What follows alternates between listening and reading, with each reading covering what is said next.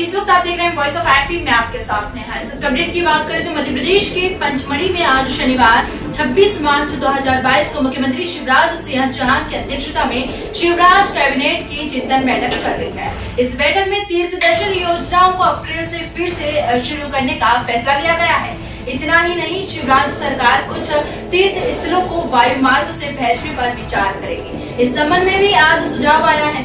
इसे सभी संभावनाओं पर विचार कर जल्द अंतिम रूप दिए जाने के निर्देश दिए गए हैं। इस शिवराज कैबिनेट की चिंतन बैठक में प्रेजिडेंशन के दौरान गृह मंत्री नरोत्तम मिश्रा, चिकित्सा मंत्री विश्वास सारण वन मंत्री विजय शाह, यशोधरा राजे, उच्च शिक्षा मंत्री मोहन यादव, राजवर्धन सिंह तुलसी सिलावट कृषि मंत्री कमल पटेल ने प्रमुख सुझाव मुख्यमंत्री शिवराज सिंह चौहान के सामने रखे। पहला प्रेजेंटेशन मुख्यमंत्री तीर्थ दर्शन योजना को पुनः प्रारंभ करने के लिए रखा गया।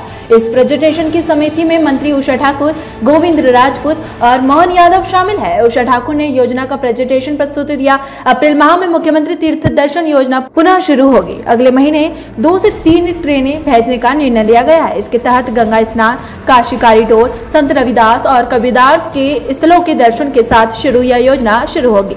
वहीं इस तीर्थ दर्शन यात्रा में मुख्यमंत्री सहित अन्य मंत्री भी ट्रेन में तीर्थ यात्राओं के साथ जाएँगे। बोगी में स्पीकर सिस्टम के माध्यम से तीर्थ स्थलों की विस्तृत जानकारी दी जाएगी। तीर्थ दर्शन यात्रा के कुछ स्थलों को हवाई तीर्थ दर्शन यात्रा से भी जोड़ा जाएगा। तो ये तब तक अपडेट। लगातार जानकारी के लिए बने रहे वॉइस ऑफ़ के साथ। जय जय भारत।